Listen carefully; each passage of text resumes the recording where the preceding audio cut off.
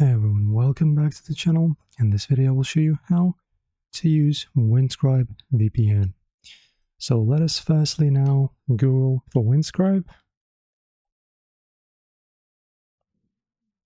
So guys, just in uh, general for you to understand, Windscribe is available in many ways. You can use it in the browser as you can see.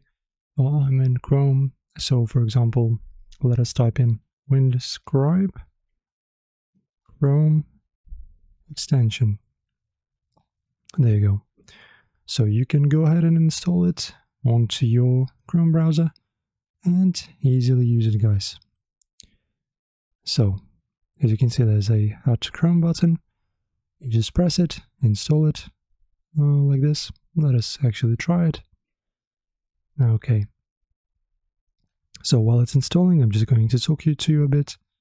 So as you can see, this is what the ex extension looks like. Actually, the mobile app looks really similar. Maybe this is a mobile app, I'm not really sure.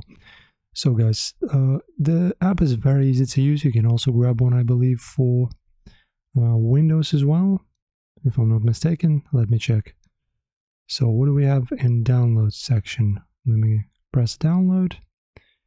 And yeah, my internet is a bit slow. Yeah, so as you can see, Windows app and Chrome, Chrome extension. Also, it's available for Android, Mac OS, and Linux, so basically on everything. So now, guys, as you can see, my extension was added. So let us uh, use it. Where is it? Uh, there you go. Windscribe. Let me just pin it. All right, now let's open it up. Let us log in very quickly. And as you can see, we also have a tutorial. I'm gonna skip this for now. And guys, oh, I'm already connected to it.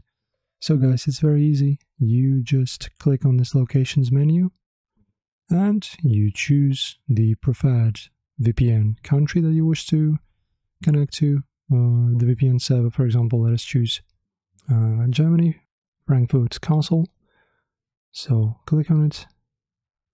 And we are now connected to Frankfurt Castle successfully.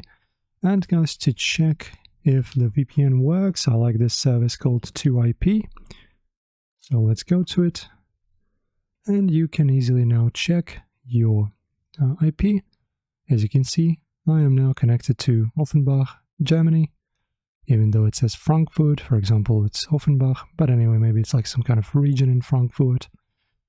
And guys, as you can see, now our VPN successfully works. Guys, the usage process on other systems is literally almost identical. You can grab the Windows app, it's going to be nearly the same. But what is the difference between using uh, the VPN on, for example, the Chrome uh, browser and in uh, the Windows app? So if you install it for Windows, you'll have the VPN enabled globally in your system, right? So even if you close your Chrome, your VPN will still work. So, for example, if you use some, I don't know, kind of dedicated um, messaging apps like Facebook or something, uh, it will be, this VPN will be working and applied globally in your entire system, and all of your apps will be using its connection. So, it's, I would say it's mostly better to use a Windows app compared to the Chrome extension. But that's how it done, and that's how it's done, guys.